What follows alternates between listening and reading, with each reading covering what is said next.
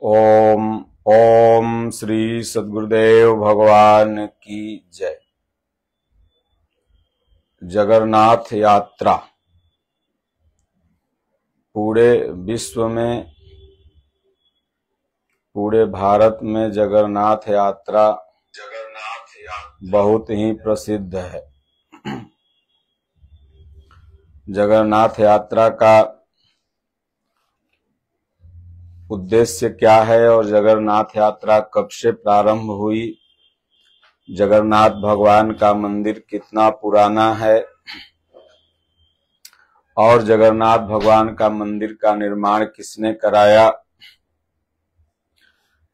और जगन्नाथ भगवान के मंदिर के प्रमुख चमत्कारों का चित्रण और जगन्नाथ भगवान के मंदिर में किनकी किनकी प्रतिमा लगी हुई है? और जगन्नाथ भगवान की रथ यात्रा क्यों पूरे भारतवर्ष में धूमधाम से मनाई जाती है? जगन्नाथ मंदिर जो भगवान का है, वो उड़ीसा में स्थित है, समुद्र के किनारे। उसकी ध्वजा हवा के विपरीत दिशा में क्यों लहरती है?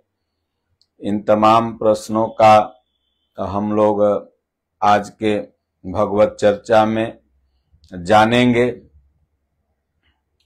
प्रत्येक वर्ष अषाढ़ महीना के द्वितीया के दिन पूरे देश में जगन्नाथ यात्रा, जगन्नाथ भगवान का कहीं कहीं मेला भी लगता है। और ऐसी मान्यता है, लोगों की भावना है कि भगवान जगन्नाथ का रथ का रस्सी खींचने से सौभाग्य बढ़ता है, दुर्भाग्य नष्ट होता है। इसलिए आप देखेंगे कि अपार जन समूह लगता है कि भक्तों का एक समुद्र उमड़ा हुआ है, एक तरफ़ जा रहा है। कितनी भावना है पूरे भारत में ईश्वर के प्रति, भगवान के प्रति। अगर पूरी दुनिया में ईश्वर के प्रति आस्था का सबसे बड़ा देश देखना है तो आप भारत में आइए। भारत में लोग भगवान पर, परमात्मा पर, ईश्वर पर बड़ा विश्वास रखते हैं। ऐसा समझते हैं कि हर कार्य ईश्वर की ही कृपा से हो रहा है। मनुष्य अपने आप को निमित्त समझता है और भगवान जगन्नाथ भी जो कृष्ण भगवान के ही अंश हैं। भगवान कृष्ण कहते हैं, निमित्तम मात्र भव भव्य साचिन तुम अर्जुन निमित्त मात्र भर रहो। करता धरता तो मैं हूँ। आप बंगाल में जाओ, भगवान श्री कृष्ण की खूब भक्ति होती है। उड़ीसा में जाओ, भगवान जगन्नाथ को भी कृष्ण भगवान का ही स्वरूप माना जाता है। तो भगवान जगन्नाथ बलभद्र और सुभद्रा।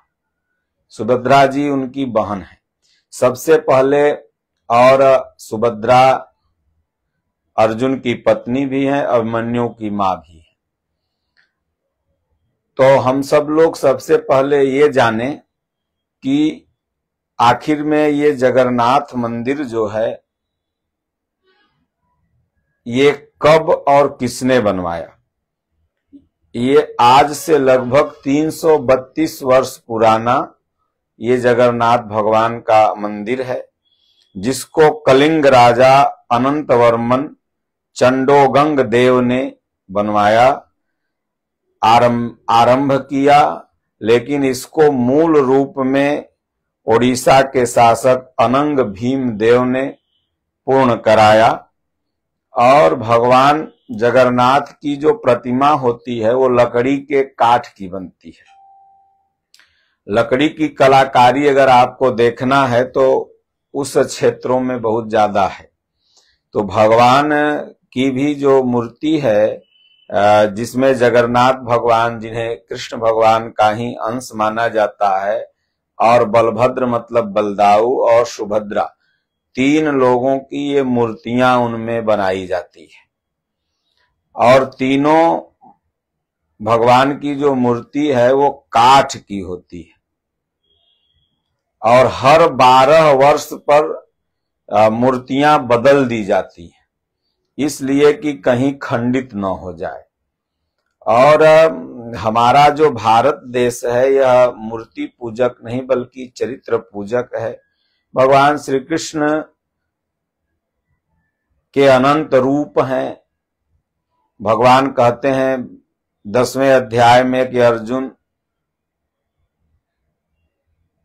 इस संसार में मैं पूरे जगत को अपने एक अंश में स्थित कर बैठा भगवान कृष्ण को परमात्मा की संज्ञा दी गई। आप, ऐसा मत समझें कि सब भगवान अलग अलग हैं।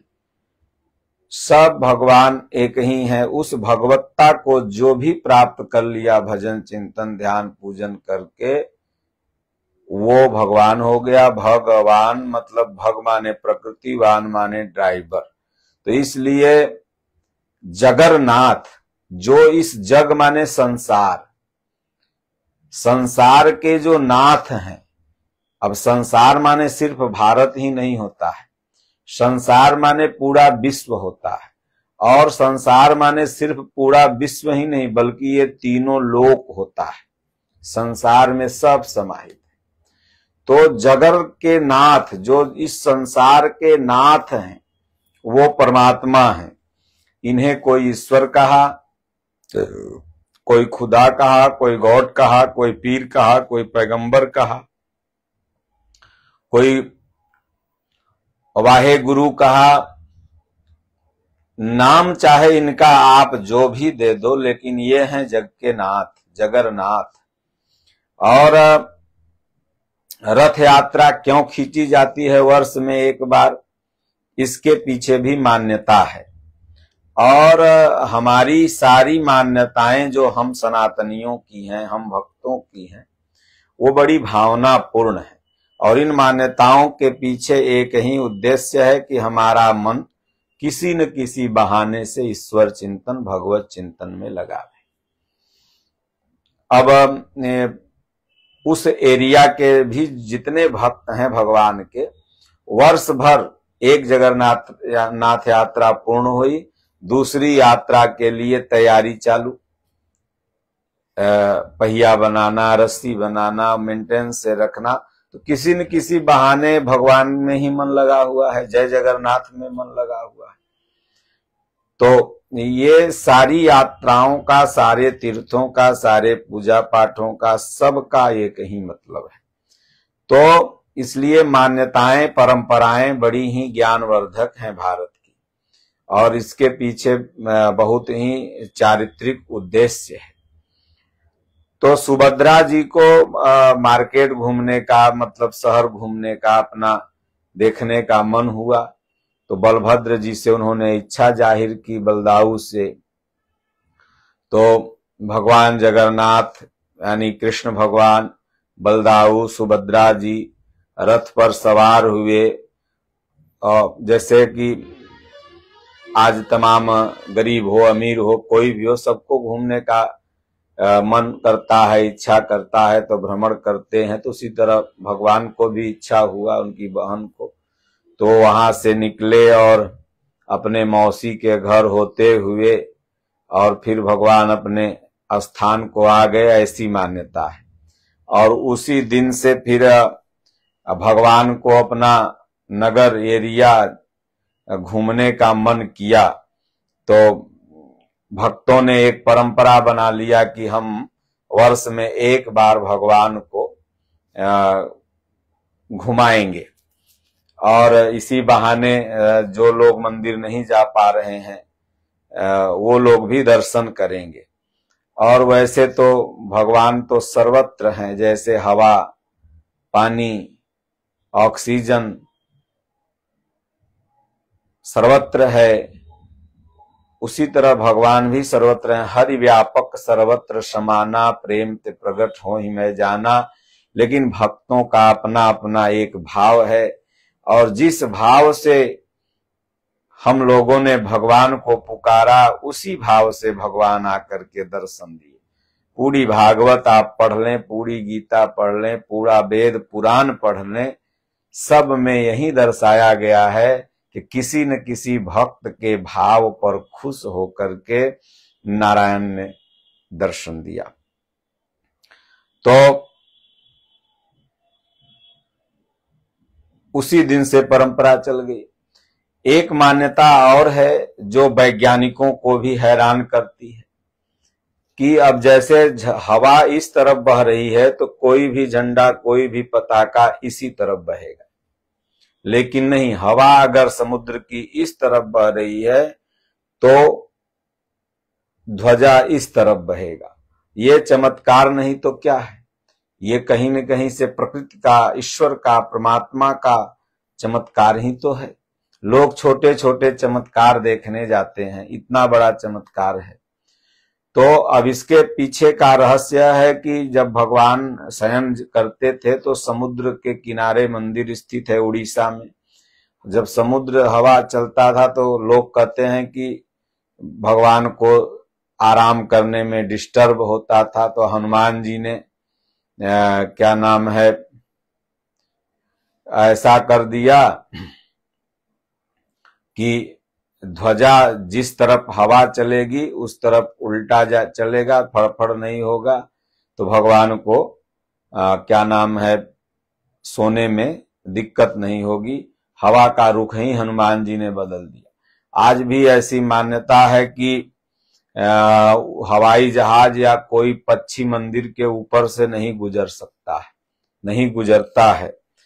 तो ये कहीं न कहीं से सनातन धर्म के विश्वास को बढ़ाने वाली चीज़ें हैं और जगत के नाथ हैं परमात्मा।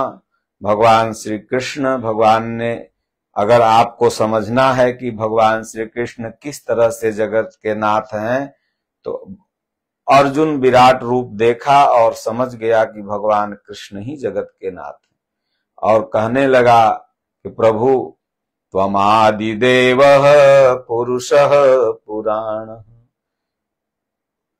त्वमस्य विश्वस्य परम निधानम त्वमव्ययः शाश्वतम् धर्मगोप्ता। सनातनस्त्वं पुरुषो मतो में। तो जब आप गीता पढ़ेंगे, कहीं न कहीं से बारहवा, दसवां अध्याय से बारहवा अध्याय तक आप स्पष्ट पढ़ लें तो आपको पता चल जाएगा कि कृष्ण भगवान ही जग के नाथ हैं। और इस मंदिर पर सत्रह बार आक्रमण हुए। वैसे तो भारत के जितने भी मंदिर हैं, सब पर मुगलों का आक्रमण हुआ। भारतीय संस्कृति को नष्ट करने का भरपूर प्रयास किया गया। उसी क्रम में इस मंदिर पर भी सत्रह बार आक्रमण हुए। कुछ वर्षों तक मूर्ति भी अंदर मंदिर में नहीं थी, लेकिन, कहा गया, यदा यदा ही धर्मस्य ग्लानि भवति भारत। अभ्युत्थानम, अधर्मस्य, तदात्मानं सृजाम्यहम्। परित्राणाय, साधूनां विनाय च दुष्कृताम। धर्म संस्थापनार्थाय संभवामी युगे युगे। तो भगवान ईश्वर जो भी निगेटिव शक्ति है, वो मानसिक हो, चाहे बाहरी हो, उसका अवश्य नाश करते हैं और अपने मौजूद होने का भगवान आभास कराते हैं। जब जब मनुष्य ये समझने की भूल कर बैठता है कि ये को हम द्वितीयो नास्ती, तब भगवान वहाँ अपनी मौजूदगी दर्ज कराते हैं। जब जब मनुष्य सोचता है कि मैंने सृष्टि का निर्माण किया तब तब कोई एक ऐसी सत्ता उसके टांग को ऐसी खींचती है कि मनुष्य को आभास हो जाता है कि नहीं, करता धरता तो प्रभु है। मैं तो केवल निमित्त मात्र जितनी चाबी भरी राम ने, उतना चढ़े खिलौना। तो जग के नाथ परमात्मा है, भगवान है। और भगवान की जो रस्सी खींचेगा, भगवान हम सबकी रस्सी खींच रहे हैं। भगवान हम सबकी गाड़ी खींच रहे हैं। कह, हरि के सहारे हाँ को गाड़ी। भगवान के सहारे ये गाड़ी हक रही है। लेकिन जब भगवान का मन कर दिया तो भक्त ने कहा, नहीं प्रभु, जब मैं चलता हूँ, आपकी भक्ति करता हूँ तो आप अपना हाथ रख देते हो। तो कम से कम ये सेवा है। वर्ष में एक बार प्रभु आपकी मैं रस्सी खींचूँगा। आपकी सेवा करने का मौका मिलेगा। जब भगवान चाहते तो हज़ारों पुल एक मिनट में बन जाता, लेकिन बानरों से भगवान ने रस्सी खिंचवाई, वहीं पत्थर मंगवाया, सेवा करवाई। तो इसलिए प्रभु की सेवा है वर्ष में एक बार बड़े भाव से भक्त लोग करते हैं तो आप लोग खूब ओम ओम ओम भगवान कृष्ण का दिया हुआ मंत्र है, जगन्नाथ भगवान का। खूब ओम ओम ओम ओम जपते रहना है, रस्सी खींचते रहना है, फिर वो आपकी रस्सी भगवान खींचेंगे और कल्याण हो जाएगा। बोलिए श्री सदगुरुदेव भगवान की जय। बोलो जय सिया राम, जय जय सिया राम।